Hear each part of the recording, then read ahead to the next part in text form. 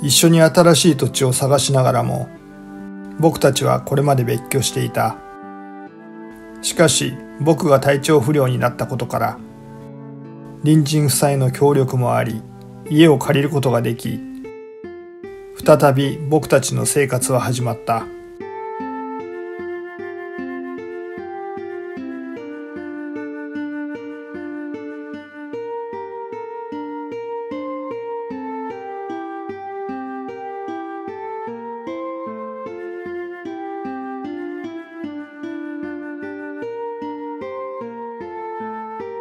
この家は農村地帯の外れ山々の近くにある。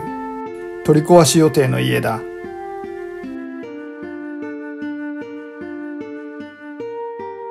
町営住宅が決まるまで僕たちはここで暮らす。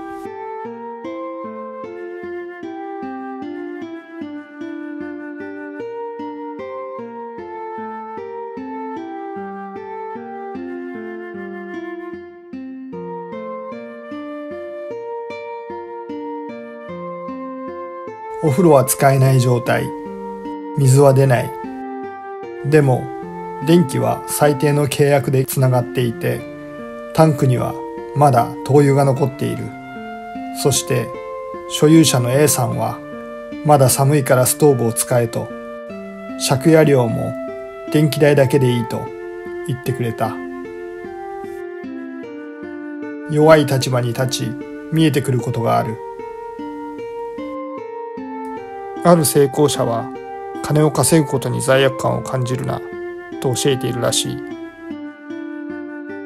その意味表と裏少なくとも僕は今お金を貪らない人々に救われている。僕たちの生活は家賃0円から始まった。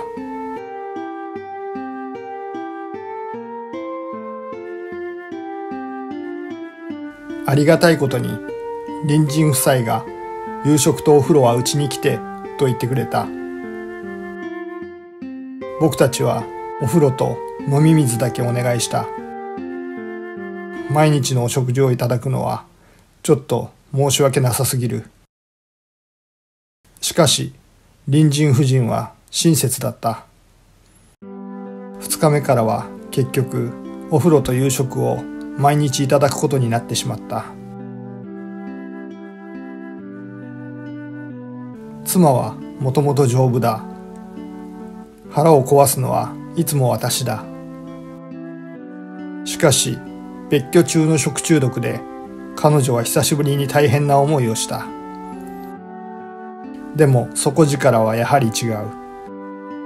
普段とそう変わらない生活をしながら彼女は回復傾向にあった。なんかさでもさ、うん。何？この生活がさうん。なんかすごい特別ななんか生活をしてるっていう感じはしないんだよね。うん。なんかこういうこれに近い生活やっぱり。うん。だってさ入った初日さ。うん。ね。恐ろしい感じのとこあの時もしょっちゅう会うよね最初。そう。本当だやっけちゃったのそのズボンいや。え。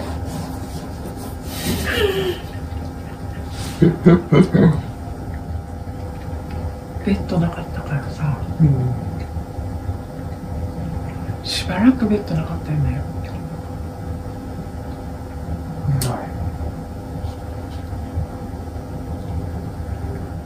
鍋からこうやってご飯食べてるのもさうん。別にさうん。そもそもあれだもんね。独身時代から川で体を洗うような生活してる時もあるのよね。そうなんだよね。うん俺からと会う前。うん。前にそういうなんだろう。そういう生活に憧れてた部分があったからね。僕の頭がとろくなっている以外は順調に見えたのだがところが妻にもこれまでの疲れが一気に押し寄せてきた。食中毒から回復した途端に謎の発疹が出てきたのだ。発疹は全身に広がっていった。隣人夫人はこれまで以上に僕たちのことを心配して体が落ち着くまでうちに泊まってと言ってくれた。もはや僕たちも遠慮しているところではなくなっていた。実際妻は後にひどい腰痛で立ち上がれなくなる。僕たちはご好意に甘えることにした。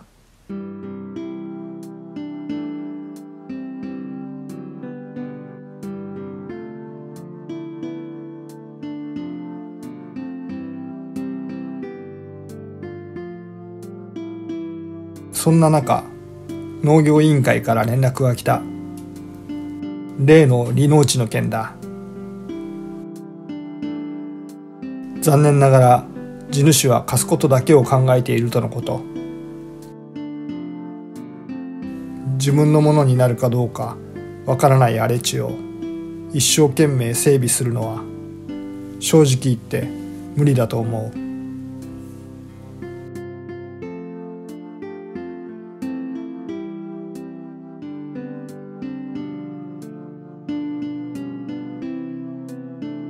隣人夫妻の家から A さんから借りた家まで。僕たちは毎朝散歩をしている。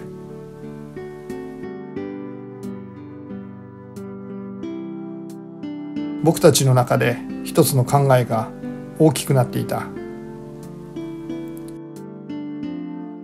今借りている家を買えないだろうか。それなら手が届くかもしれない。疑問もあった。どれだけの広さか。壊れた水のパイプは直せるのか。そもそも水源の沢はどこなのか。僕たちは隣人夫妻に相談した。彼らは僕たちの考えをとても喜んでくれた。そして早速 A さんに聞いてくれた。土地の広さは0.7ヘクタール。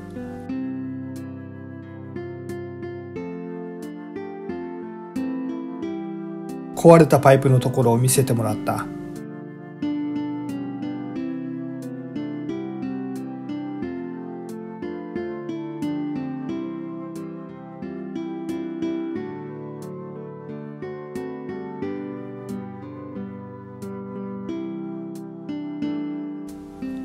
マが心配だと隣人くんがついてきてくれた。水源は金華水という名水が湧いている近くだという。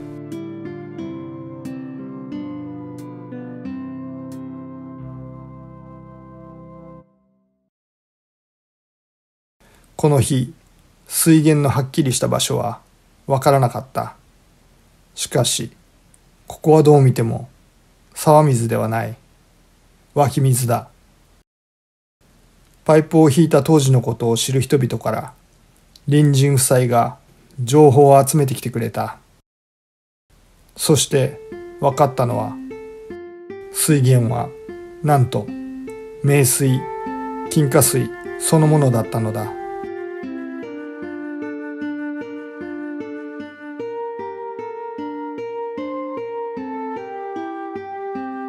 この古い小さな家は唯一そこから水を引いている家だった。